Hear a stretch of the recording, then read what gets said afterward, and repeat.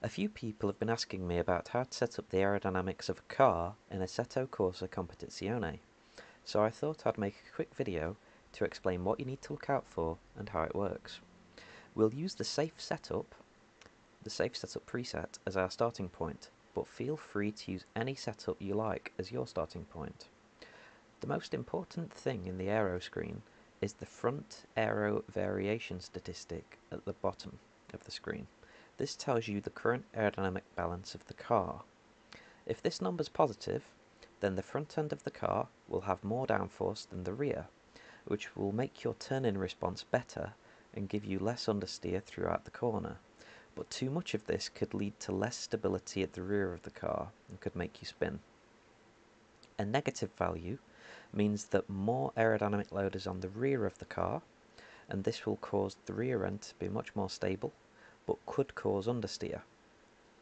The key is to find a balance that you're happy with. In other words, how much understeer and how much oversteer are you happy with? Once you've found a balance that you're happy with, whenever you make any adjustments, you want to keep this number roughly the same to achieve the same balance. So one question you might ask is, if I've found a balance that I'm happy with, why would I want to make any, any adjustments to the aerodynamics? Well, even if you've found a balance that you're really happy with, you still need to tailor your aerodynamic load to the circuit that you're currently racing on. For example, if we're racing around Monza, we'd want to reduce our drag as much as possible, so we can get a better speed on the straights. If we're at Monaco, we'd want to add as much downforce as possible, so we can go faster around the corners. The important question is, how do we make these changes without changing the balance of the car? Let's explain this with a practical example. We'll pretend that we're racing around Monza, so we want to reduce the amount of drag as much as possible. So let's reduce that rear wing. So here we're going from 7 down to 1. But look, it's changed the aero variation. Now we've got way more downforce on the front of the car than the rear. So it was 0.5% and now it's gone up to 5.1%. So this is a 10, a, ten, a factor of 10 change. So we want to change the aero load, so we're at 0.5. If we had a splitter at the front of the car, we we could just reduce the angle of that until we've got the balance we desire. Unfortunately, this car doesn't have one, so does that mean we're stuck with poor balance? No, it doesn't. By adjusting the ride height, we can adjust the angle of the car, in effect making the entire car into a giant wing. This is called a rake angle. By having the front of the car lower than the rear of the car, more air will flow over the top of the car and push it into the ground. As you can see, if we decrease the front ride height, it will increase the front aero variation. So if we go down like that, we can see the front aero variation increases. But we want to decrease it back down to 0.5%. So let's increase the front ride height until we've got to where we want to be. So if we go up here, we're aiming for 0.5%. And now we've got to a point where, oh look, at 66 millimeters, we've got 1.3%, and at 67 millimeters, we've got 0.2%. So what we can do we can also play around with the rear ride height until it is about where we want. So we've decreased the downforce whilst maintaining the balance of the car. Are we finished? Not quite.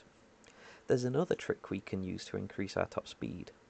If we lower the car as much as possible, it will decrease the drag profile of the car. So let's reduce the ride height as much as we can whilst keeping the balance the same. So roughly if this difference between the two ends of the car is about the same, the aero variation will be about the same.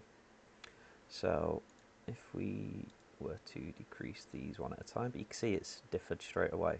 So what we'll do, we'll just crank this all the way down to the bottom, and we'll do the same with this, and then we'll tweak it, and now you can see the front end's too low. So we'll just tweak this until we get to about 0.5, and there we go, bingo. So if we were running a Monza, that would be about where we want the car to be.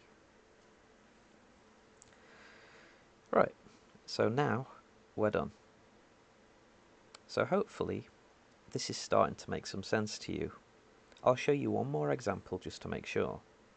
We'll now pretend that we're driving at Monaco, so we want as much downforce as possible so we've got more grip in the corners. First we'll increase the rear wing as much as possible, but as you can see this has changed our front aero variation so it's negative. Has that gone up to the top? Yes, it has. What does this mean? Well, it means there's more downforce on the rear of the car than the front. What will that do to the balance of the car? It means you'll struggle to turn into corners and you'll probably get quite a bit of understeer.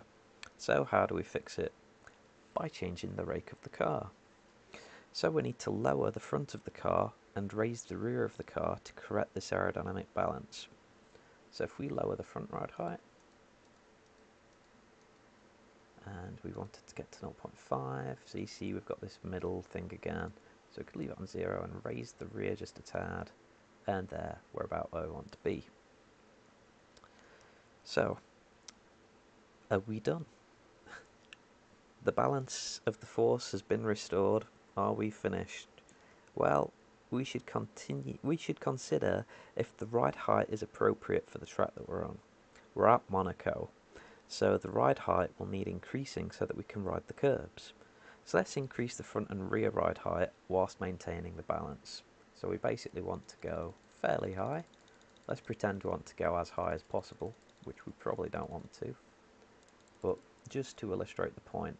So we've put the rear as, as high as it'll go, and then we need to adjust the front until we get to where we want.